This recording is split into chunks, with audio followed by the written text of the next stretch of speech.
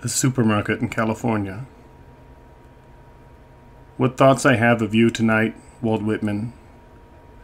For I walk down the side streets under the trees with a headache, self conscious, looking at the full moon. In my hungry fatigue and shopping for images, I went into the neon fruit supermarket dreaming of your enumerations. What peaches and what penumbras. Whole families shopping at night aisles full of husbands, wives in the avocados, babies in the tomatoes.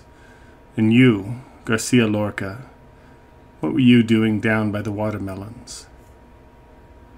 I saw you, Walt Whitman, childless, lonely old grubber, poking among the meats in the refrigerator and eyeing the grocery boys.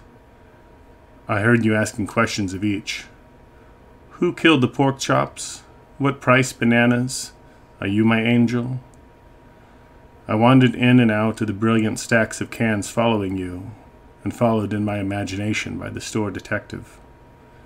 We strode down the open corridors together, in our solitary fancy, tasting artichokes, possessing every frozen delicacy and never passing the cashier.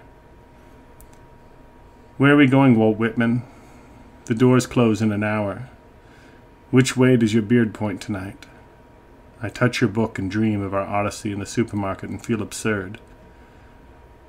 Will we walk all night through solitary streets? The trees add shade to shade. Lights out in the houses. We'll both be lonely. Will we stroll dreaming of the lost America of love past blue automobiles and driveways home to our silent cottage?